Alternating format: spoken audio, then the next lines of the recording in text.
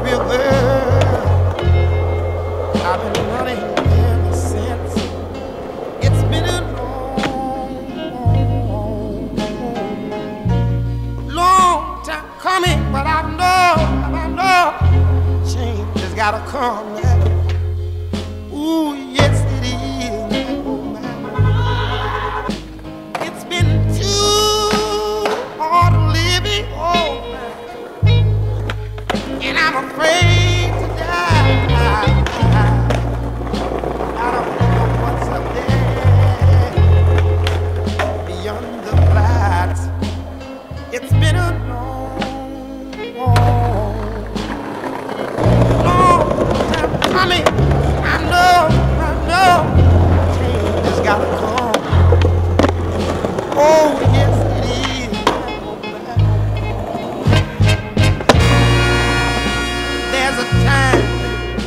I will go to my brother.